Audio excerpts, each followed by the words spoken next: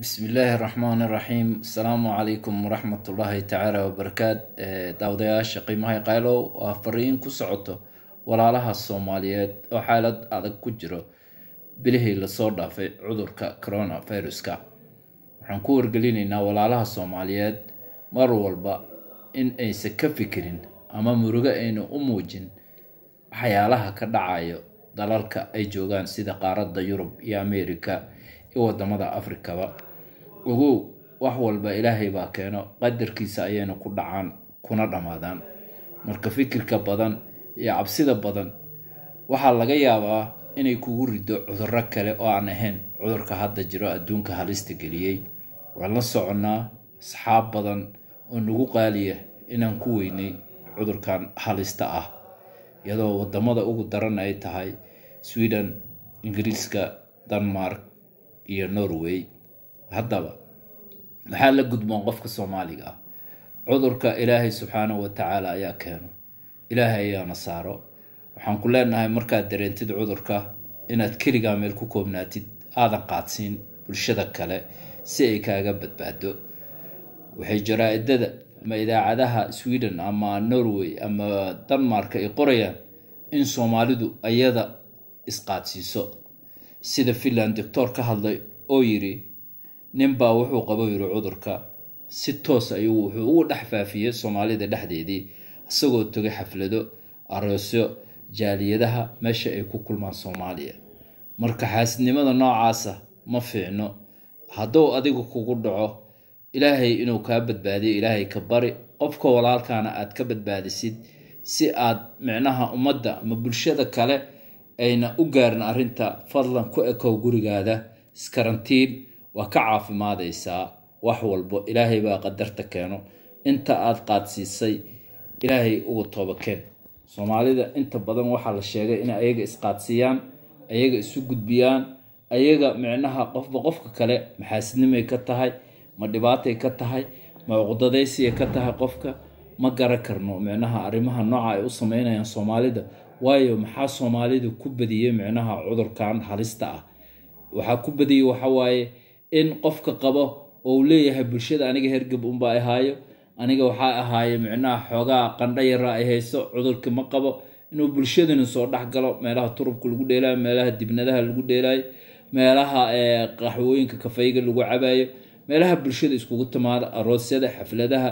Marka waxaan leenahay war bulshadu ha ka digtoonaato qofka aada uga shakiso ha ka digtoonaato. Soomaalidu waxaa arkaysaa inta badan in afkana xiranayn gacmahana ayna galashanayn golofyo ayna gashanayn. Sababtaa oo aan fahmi karin ilaahay subxaanahu wa tacaala qofka muslimka wuxuu yidhi dadaal. Qofka markuu dadaalo ayuu waxheli micnaha wax walba ilaahay micnaha ka tari kara inaad afka xirato gacmaha isturatid markaad banaankaada ka soo dhamaystidna gacmahaada dhaqatid waxay adigu kuu dhibaysa male oo aan faa-iidada ahayn.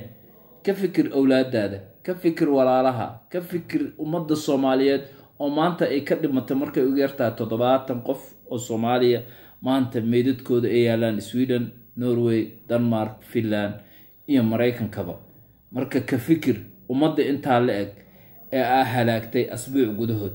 Marka cudurka ha kuga ekaado gurigaada joog iskarantiin ku ekaaw ha soo bixin bulshada markaad soo bixaysid afkaada iyo gacantaada waa inay ku xirnaadaan si aad micnaha ula qabsatid ilaahay wuxuu ku yidhi ilaahay wuu jiraa laakiin ilaahay dadaal buu ku yidhi micnaha oo ummadeyda haddaad tahay dadaal buu ku yidhi ilaahay dadaal ma reebin.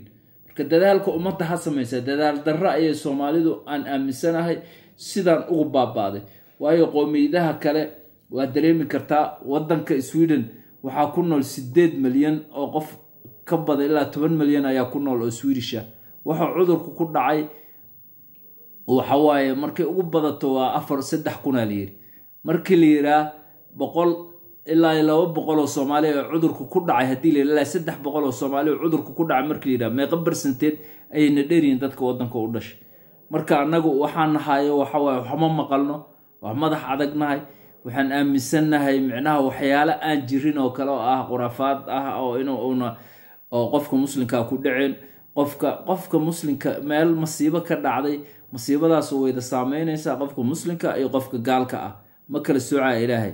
Haddaad aaminsaneedeen micnaha kuleelku cudurku ma ku dhaco meel kuleela. Waxaad ogaataa sacuudi carabiya oo ah dalka ugu kulul caalamka. Ilaa maanta ilaa iyo sodomeeye qof ayaa waxaa qaada cudurka maanta oo keliya.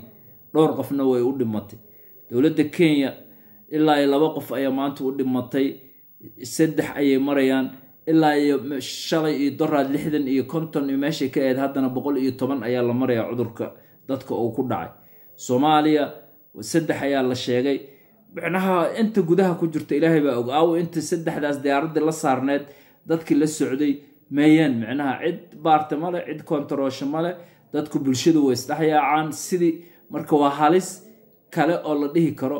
Waxaan ogsoonahay qoysas badan iyo dad badan oo hergab aan nahayo qandha ayaana hayso lafiihana jajaban oo muqdisho joogo oo muddo asbuucyaa jira. Guriga dhan inta joogo uu ku wada dhaca cudurkii ilaahayna uu micnaha uu ka badbaadshay uuna ka micnaha uuna dhibaato uu ku gaarsiin. Marka waa fikirka wuxuu yahay ka fikir naftaada ka fikir nafta walaalkaa ogow guriga aad joogtid wax ay kaa dhibaysa male markaad adeeg u baahato iyo markaad alamiinto u baahato iyo markaad wax u baahatana afkaada aad xiritid gacantaada aad micnaha isturitid annagoo og inaan weyne asxaab badan oo saaxiib nagu hoqaali frens nagula ahaa facebooka asxaab aan farxad wada qaadan jirnadeed maantana aan hayn ay micnaha ay cudurkaas ay asiibtay ee u dhinteen. Marka adiga ka fikir inta hartay inaad badbaadisid.